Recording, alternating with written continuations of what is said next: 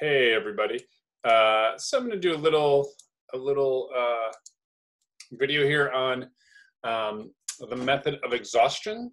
Um, this is the name sometimes given to a, a method for determining um, uh, determining the area of a circle. We're not really going to do it necessarily precisely the way it has been done uh, in antiquity when it was first done. So we're kind of doing a mix of the idea with some modern uh, notions of calculus, but the purpose is just to sort of get the idea of uh, the limiting the limiting function we use in integral calculus to get areas, right? It's a very similar sort of setup, um, and it's got some nice geometry problems in it. So I've got here a circle, and the idea is that we're going to uh, uh, inscribe in it a, a regular polygon. So what I mean is that, so I've kind of gotten a drawing prepared because it was a little time consuming. Um, if you just look at the outside of this polygon, right, I, I guess I have a um, hexagon here. By regular, I mean, let's pretend that I drew it perfectly and all of its, uh, all of its sides are the same length, okay? Um, I'm gonna use that in my, in my uh, determination of the area here. Um, of course, it's not perfect, but you get what I'm, what I'm going after. So I want to figure out, the idea is we're going to, if you look at this inscribed polygon, right, we're missing a little bit of area. We don't, we don't capture these, these portions in here. But if we were to then maybe make it a 12 sided polygon, so I could draw, you know, little, little versions like this, if those were actually straight lines to make this a little better, right? We'll start to capture more of that area that we're missing. And we can go, we can go further and further capturing more and more of the area uh, as we get more and more sides. So we'll take the limit of, oops, all right, I guess it won't let me erase that one. We'll take the limit of this, uh, hmm, I guess there's no way to do it. that. Red line's gonna stay. Okay, um, we're going to take the limit of, we're gonna try to write an expression for the area of an n-sided polygon um, and see what happens as we take the limit, as we imagine making more and more and more polygons, okay? So I've drawn a six-sided polygon here, but we're gonna imagine that uh, that's an arbitrary number. And I'm gonna try to figure out its area, and the way I'm gonna do it, the reason I've drawn all these triangles is because I know how to find areas of triangles. So let's take one of these triangles out, or imagine that we've taken one out. I'm going to draw one of the triangles out here. So imagine this is one of the triangles, and it's the central angle here, which I'll call theta. And remember, there it's a regular polygon, so these are all going to be the same central angle. Okay, they're all going to be theta. Um, it's uh, not terribly difficult to see that. We're splitting up the uh, the circle into equal portions, right? And also remember each of these, the sides of these triangles have a radius of r, okay? Because each of these is a radius. It goes from the center to the point on the circle. So in this triangle here, I have r and r, and theta is my angle there, okay? So let's name a few things, or actually we'll, we'll get to that in a moment. Let's figure out the area of this triangle. I need to know two things, right? I need to know how tall it is, call that h. And I need to know uh, uh, this base, okay? So I'll use big B for the base here, and I also might need these half bases right on each side. Because notice if I've drawn this height here, it's going to hit at a right angle and the angle between the height and one of these sides is theta over 2. So let's now think about that triangle for a moment because right triangles are nice to work with. So this is base over 2, this is h, this is theta over 2, and this is r. Let's see if we can get an expression for the base and the height in terms of theta and r, okay, right? Remember, if we were looking for the uh, uh, area of a tri of a circle, we're going to know the radius. So r is known. Theta is also going to be known in a sense. We'll get to that in a moment. So I want to do everything in terms of r and theta right now. So what is the, let's think about h. I know that if I take the cosine of theta over 2, that's equal to h over r, which means h equals r cosine theta over 2. Right? In the same way, we will get uh, b over 2 is equal to uh, r sine theta over 2.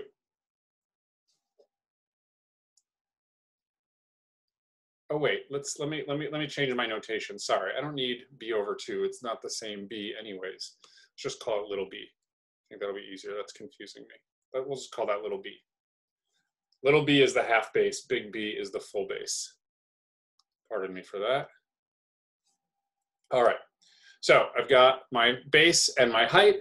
So the area of this triangle right here, let's call this, uh, we'll call this, uh, let's call it area of the little base, is going to be uh, one half base times height, which is one half the product of these two things. So we have two r's, so we'll get an r squared. We'll have cosine of theta over 2 and sine of theta over 2.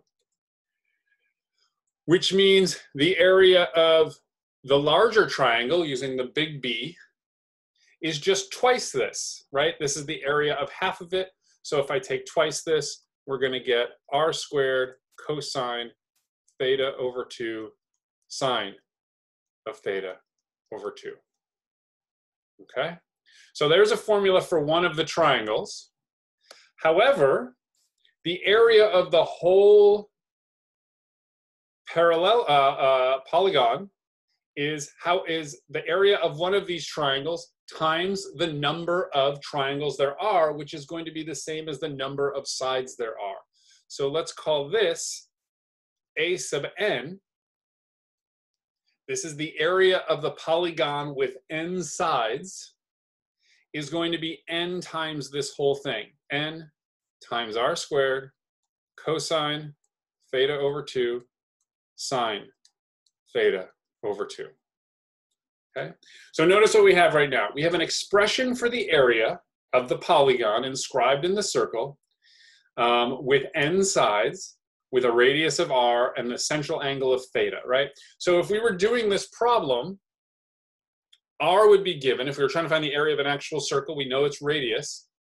Um, we're going to take a limit as n goes to infinity, so hopefully this all works out and the n's disappear somehow.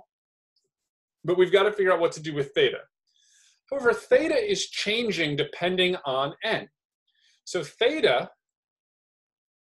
right, if if there are n sides to the polygon, that means there are n central angles, these angles in the middle. So if I take n times theta, that's adding all of these up, I go all the way around the circle, which we know to be 2 pi.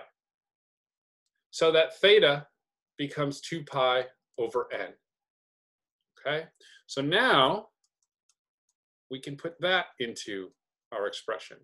Theta over 2 is just taking half of this, so this becomes pi over n sine of pi over n. And here is an expression for the area of an n-sided poly regular polygon inscribed in the center of a circle. Okay? All right. Now, let me make one quick mention before we go forward. You might notice this, and if you have a bunch of trig identities well remembered, there's a half angle formula that you could replace this with and get something a little different. I'm just going to go ahead and do it as written um, uh, because it takes sort of the least amount of um, you know formulas you might have memorized. I imagine most of us have seen, probably all of us have seen the half angle formula. I know that there's a square root. I know the sine one has a has a minus, I think, and the cosine has a plus. It's I, I can't remember which one exactly. Let's do it without having to look it up. We can do it as is. That might simplify the problem if you happen to have that, but we don't actually need it. Okay, so I've drawn again a hexagon where n equals six, but this represents any sized, uh, any, any, if I wanted a 10-sided regular polygon, this would give me the area inside the circle, okay? And if you're curious, you can take a radius of one um, and plug in various values of n and see if they get to what we know the area to be, right? The area of a circle is pi r squared. If the radius is one, it's pi. If you plug in these values, if you plug in, for instance, n equals 10, you should get some number. And if you make it closer, to, if you make it larger, you should get some number closer to pi, right? And from the picture, it also looks like we should get numbers less than pi. We're missing some area, okay? I'll leave that up to you if you want to check some of those, okay? Also, a word of warning, I'm doing this in radians, right? I did 2 pi as all the way around the circle, so make sure if you are checking it, you're in, uh, you're using a calculator that, that uses radians. Okay, so now here's our big leap. The area of the circle, let's just do this.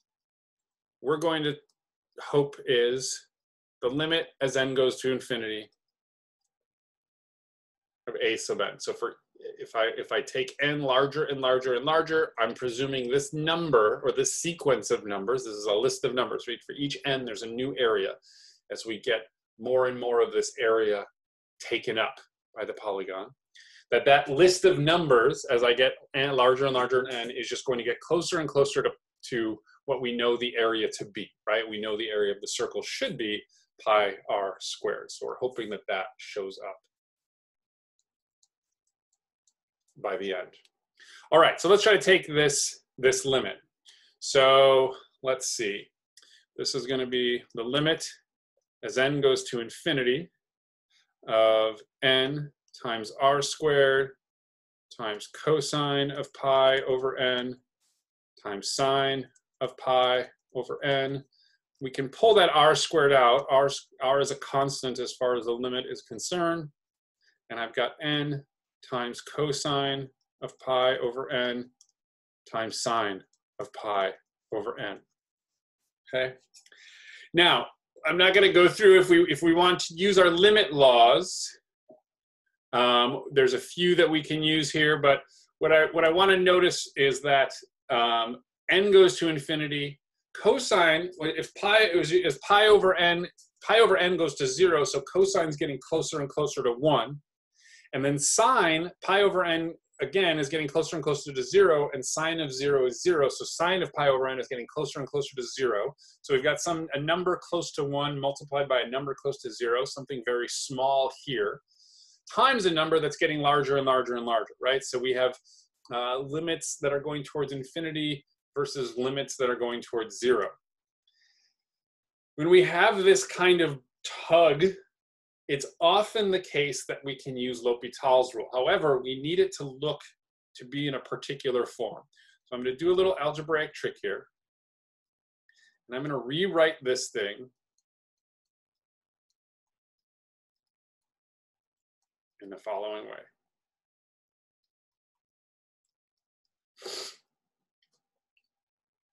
Okay, so now this is the exact same thing, right? n never equals zero, so this is a totally legal move. The numerator, right, the cosine of pi over n, like I said, goes to, this goes to, the pi over n goes to zero, which means cosine is going towards one, sine is going towards zero, so the numerator's limit is zero, right? That's using some of our limit laws. And the denominator's limit is zero.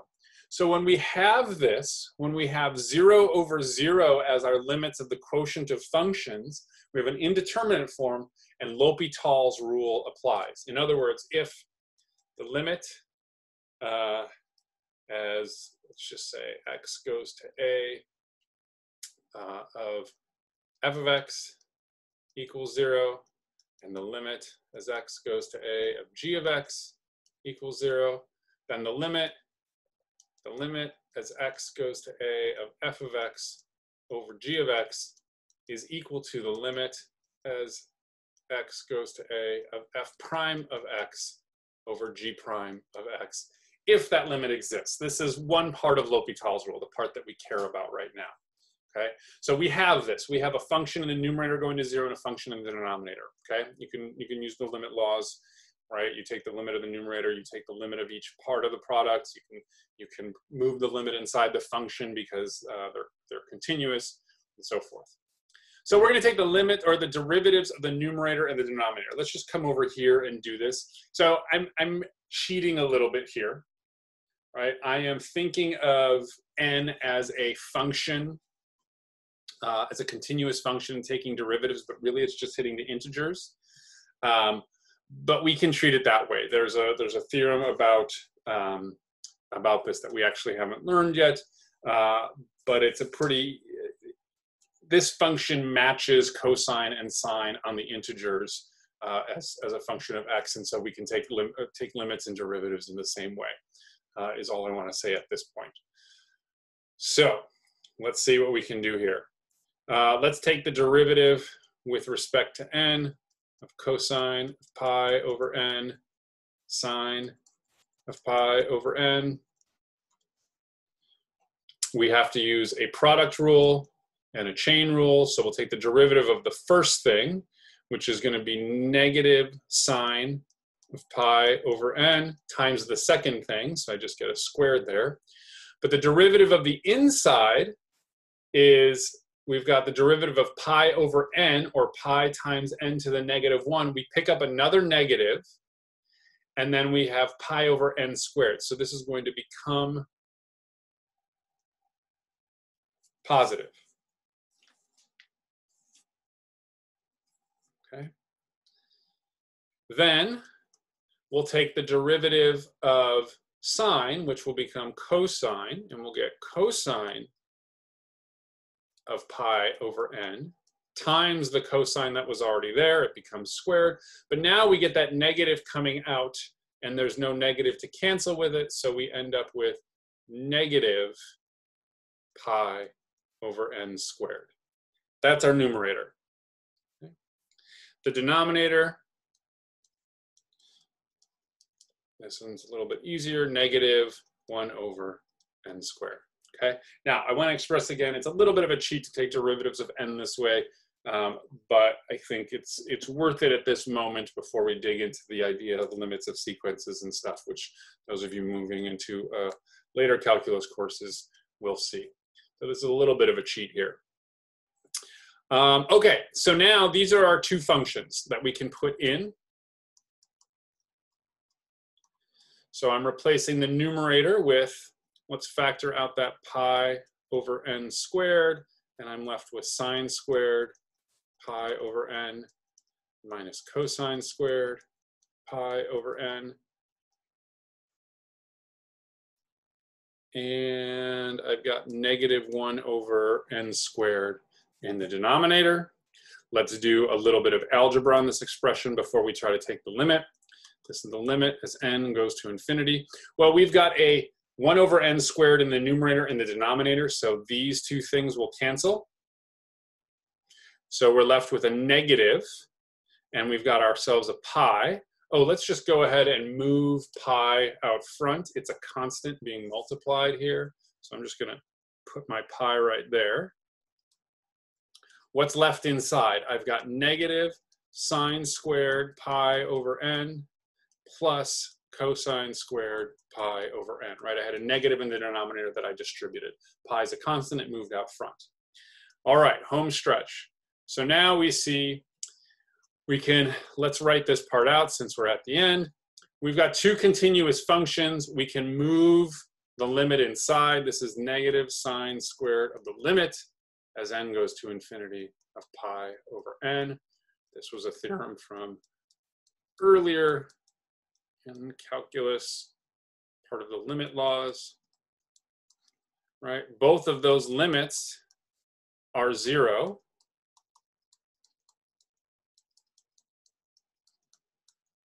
Well, sine of zero is zero, so zero squared is zero, the negative goes away. We're left with a one, and all that's sitting here is the area of a circle.